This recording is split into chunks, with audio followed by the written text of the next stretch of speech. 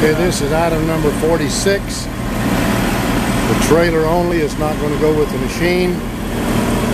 You're going to be buying it separate. You know, you may already have a, a trailer